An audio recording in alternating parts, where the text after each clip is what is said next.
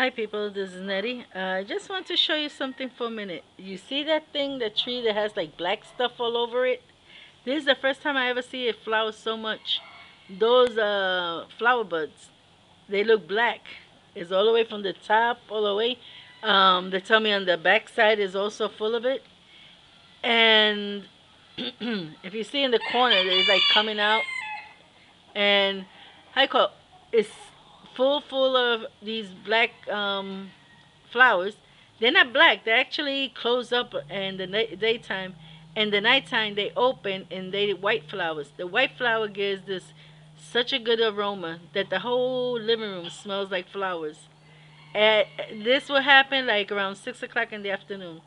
But it's amazing. This plant, I have it for so many years. I have it like, uh, wow, like 12, 13 years.